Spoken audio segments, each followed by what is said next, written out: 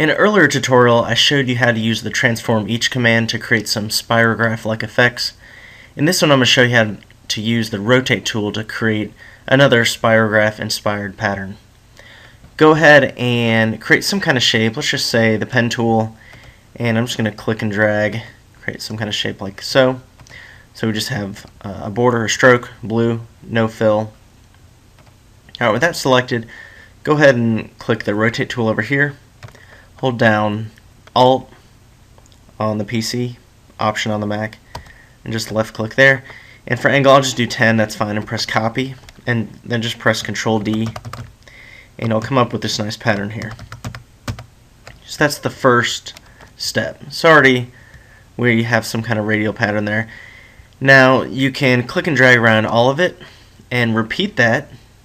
Select the rotate and let's just say right here.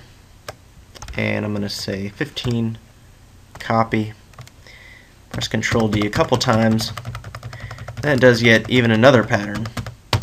Alright a pattern of a pattern alright so you can do that with this one simple shape that I made or you can do of course like a polygon. Press the up or the down keys on the keyboard and you can come up with different beginning shapes, rotate, and I'm going to alt click that corner there, and I'll just say 5 degrees, copy. When I press Control D or Command D on the Mac, basically it's just repeating, and there we go. There's that spirograph effect. Alright, so uh, you can use this with various shapes or with uh, custom shapes that you create with the pen tool, just rotating and copying um, instead of the transform each command. Just another way to create that look that's inspired by Spirograph. Thanks.